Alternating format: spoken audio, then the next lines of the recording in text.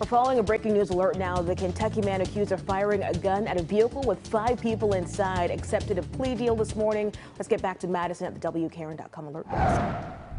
Yehanikel, WHOP radio reports the Commonwealth's attorney explained the agreement for 21-year-old John Voss from Hopkinsville with his five first-degree wanton endangerment counts amended to second degree and combining with a count of tampering with evidence. Each count comes with a one-year sentence and they would be served at the same time. No one was hurt in the incident. For breaking news around the clock, go to WKRN.com.